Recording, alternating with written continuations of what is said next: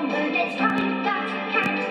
Searching here and searching here, we'll find that cat. Milton is a clever cat, she loves to hide and play. Oh yeah. Her bowl should be empty, and where is she today? Come on, come on, bird, let's that cat. Searching here, searching we'll find that cat. Wait.